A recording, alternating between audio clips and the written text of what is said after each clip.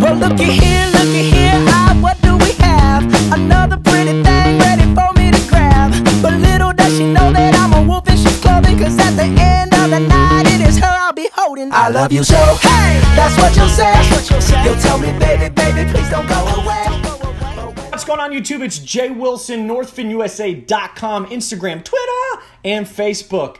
The Christie Eye, front and center. So here's the deal. I waited till Thursday. I still didn't make time to clean the tank.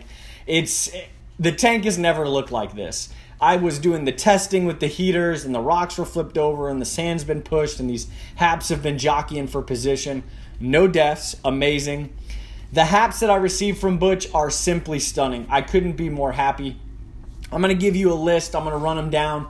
I'm not going to do it in any particular order. So, if you're interested to know what they are, take the name from Monday, Google it, remember what they looked like, and you'll educate yourself just a little bit more. And what is more important than knowledge? Because knowledge is power when it comes to knowing fish and what fish should go inside your tank. So, we received in no particular order a Placidochromis golden Mbamba Bay, the Exochromis anagenys, Otopharynx black orange dorsal, Copadichromis azureus, Aristochromis christyi, my favorite, Taeniochromis holotaenia, Dimidiochromis kiwinge, Copadichromis likomae, Buccochromis rhoadesii yellow, and my number two favorite, the Strigatus. So here's the deal. The all hap tank decision was probably one of the better decisions I've made in African cichlid keeping.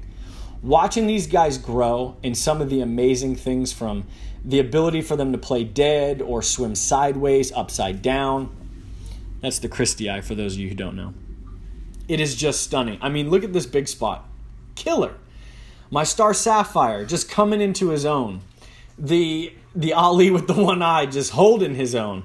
Uh, Johnny Blaze's offspring is doing great. But again, the tank is not where I want it.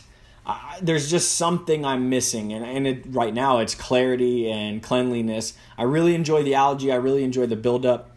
I'm still feeding 3 millimeter cichlid formula and 4 millimeter jumbo fish formula with a sprinkle of krill here and there.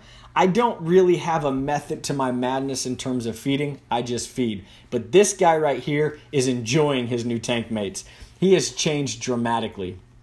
This little guy, surprisingly, I thought I was going to lose him a while ago. Uh, he just paled out. He was almost white. I dropped him in the 220 and he just immediately just popped. It was awesome. The other thing I want to say is behind that background lies a white lip. yes. There is a white lip and he's doing great. He looks good. He's eating. He just got back there and I haven't had time to get him back. Um, all these fish in here, except for a few of them, are specific specifically from Southeast Cichlid. So if you've got an idea of what type of fish you want, or maybe you have some some questions, email Butch at info at southeastcichlids.com.